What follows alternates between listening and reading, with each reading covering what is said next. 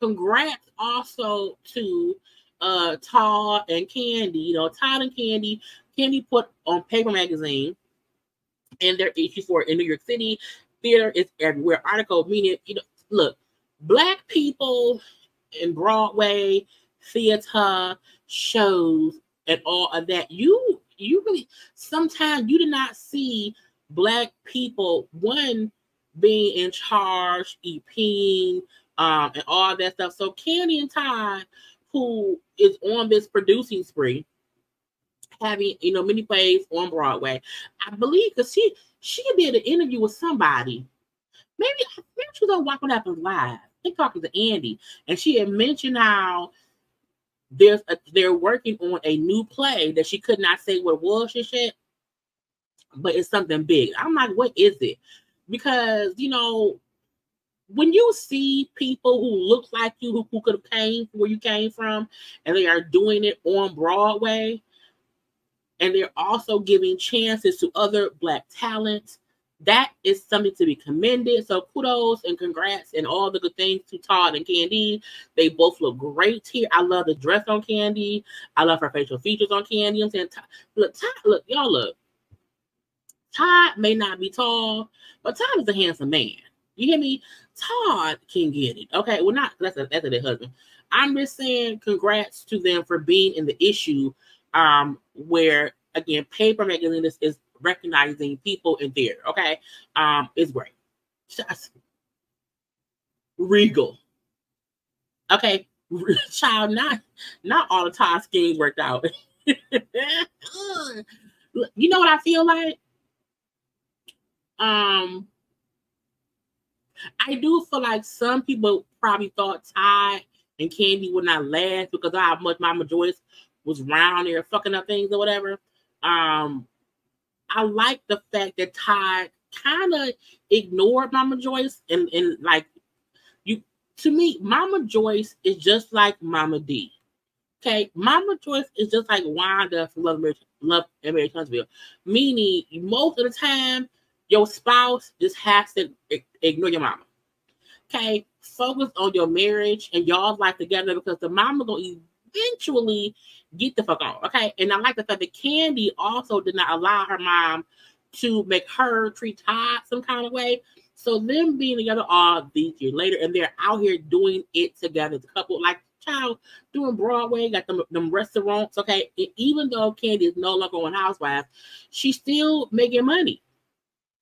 Kandi to me used that show to create businesses, to create connections. So that way, if she was not on the show anymore, it wouldn't stop her bad. And a lot of people,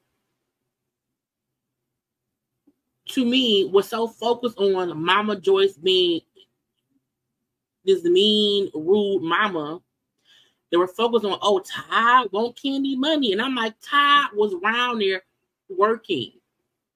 You know, because Ty was already an EP on on, you know, on Housewife before you met Kandi. So I'm like, you know, Ty was also working with Carlos King on was it R&B Divas, either R&B Divas or or or Hollywood Divas, one of them diva shows. So I'm like, Ty has also been building his own namesake, his own career and I think because he's more of a behind the scenes person, people felt like, oh, Todd Brown, they're getting kid. And like, no, he was smart too. You know what I'm saying? So even if they were to divorce or whatever, and I hope they don't, no one can make it seem like Todd got with Kandi for the money. And then, you know, you know what I'm saying? Like he they, they have worked together as a couple and I love the fact that they seemingly never lost sight of their marriage. And I and I know it ain't perfect or whatever. However, you know what I'm saying? It was what it was. Okay. So because the child they still married. And is and is they stay still married. And again, you have to use your you you should always use your connections when you are on a network show for King was on it for 14 years child, when you are on a show or network for that long and you have no connections, no other, you're at the wheel of other people, that show you did not do things right. Because to me, it seemed like Kandi is not at the mercy of Bravo or of any other network. And she's hoping they'll call her to book her for a show like other people. Okay, speaking of, child, a duo. A duo. A duo who was on Bravo Housewives of Atlanta from season one.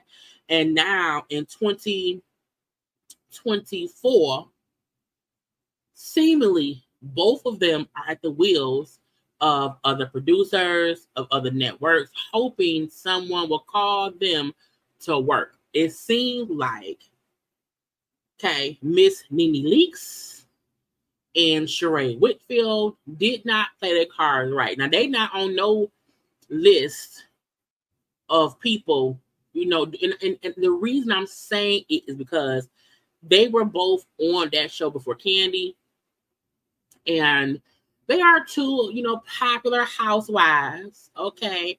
However, it just did not pan out for them. Okay. Now, you know, NeNe is in this full, full, full Balenciaga print outfit. Is it real? I don't know. I don't buy Balenciaga, okay? But looks cute. Uh Sheree is not in She by Sheree. Is she ever?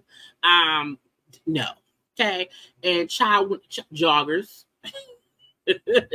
joggers it's like I really wish that this, this is not me hating on NeNe or on Sheree.